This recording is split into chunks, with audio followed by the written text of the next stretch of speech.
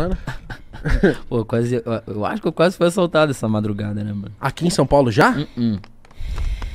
Eu cheguei agora aqui em São Paulo, mano. Vim. Eu peguei o ônibus 6 horas da manhã, 7, sei lá, acho que foi 7, 7 40 por aí. Aí cheguei aqui de manhã, agora, não, começo da tarde.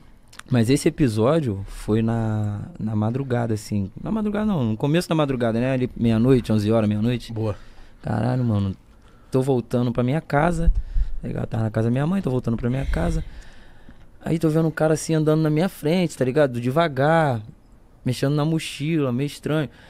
Porque, porra, mano, é foda. Depois de 11 horas pra mim, todo mundo é meio mandado, tá ligado? É estranho, né? É. Você já olha diferente. E já, e já fico escaldado. Tava com minhas paradas, tava com meu celular, tava com minha carteira. Aí eu olhei assim.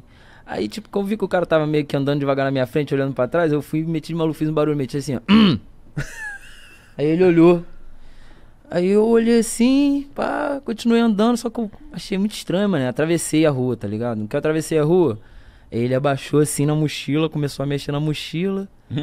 Aí, tipo, me olhando muito, me olhando muito. Eu- quando eu atravessei, mano, ele virou pra mim e falou: Qual foi? Aí eu não respondi.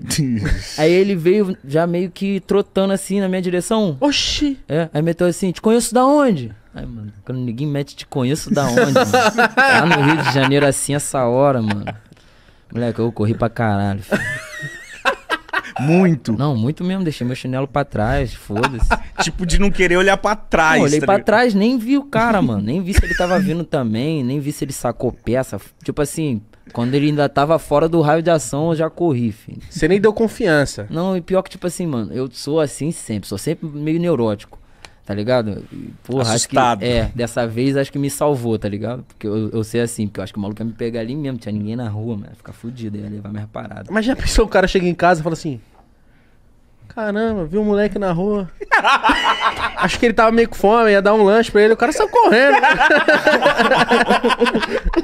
Eu ia fazer o bem Não dessa entendi vez. nada, mano. O cara saiu gol louco. Não, ninguém tava falando, os moleques da produção tava falando assim, cara, mas e se fosse um fã, Choice? É.